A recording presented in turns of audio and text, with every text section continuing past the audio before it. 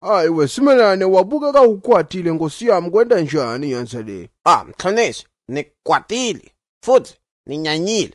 Nenzile konke futhi. yini manje wesimelane nkosi yami sekwenda njani Ah, ndithi nindlula imandini. Niva ilomdzala, niqela imapondo la. Namnika. Napuyi futhi nandlula. Ilomdzala, niqela imapondo. Ah, namnika. Naphinzi futhi nandlula. Ilomdzala, niqela imapondo. Hayi, hayi, mxolisi. Nidiniwe. Nidiniwe mina mxolisi. hayi wesimelane labo ngiyabathi nkosi yami bayahlupha nami bayangihlupha ungibona ngiguge ngaka bathatha bathathe nayokuqina simelane Oh, manje mina nidiniwe mxolisi. Manje nifuna isibhamu. Nethi ive indoda ithi ilomudzala. Nayo ke imopondo. Ibulali lomdzala mxolisi.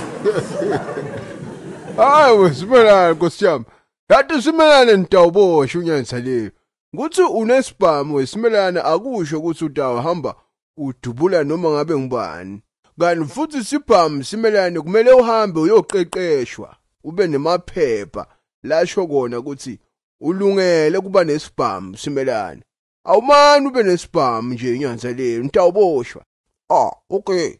Nikhombe ke ukuthi niyofunda kuphi mxolisi. Eh.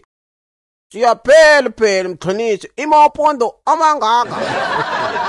hayi kani kulula wesimelane khona indzawo lengiyatiko mnethu bathi i-ARS Training Academy noma mhlawumbe i-Advance Risk Solution Training Academy simelane. Batakufundzisa bakuqeqeshe kuze ulungele simelane kuphatha leso sibhamu lokhuluma ngaso. Kanti kuningi futhi mnetfu longakudobhadobha lapha kuwo maja ngobe bafundzisa bente nalamanye amakhozi. Akhona amakhozi abo CCTV and control room. Uyangiva simelane? Bo national key point loku NKP arm reaction. Personal and business special event akhona bo close protection course lokuyi VIP simelane bo private investigation kuningi longakuthola lapha simelane noma mhlambe ufuna kuba security bayawenda ke magrade lapha ema security kuyosuka lapha ku E kuhambe kuyele kubo C Ah, mxolisi. Usho ukuthi ningafunza nibe isamtsheni. yebo njengoba ngishilo wesimelane i-security training dindo jabo lethu simelane. Bayatholakala epulukwane kwamhlanga nasepitoli. Kulula kani kubashayela ngoba inombolo yabo ithi 072 239 2759 simelane. Lenye ithi 072 6639 853 hawu uyothola bona ngqo. Noma wente naku lokwe-email ku-info at arsi.co.za simelane Oh, asambe manje mxolisi.